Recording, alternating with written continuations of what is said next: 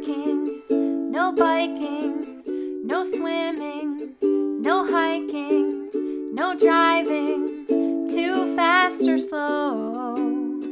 And the word is no, no, no, no, no, no, no, no. And the word is no, no, no, no, no, no, no, no. And the word is no camping, no cooking, no laughing, no looking, no stopping,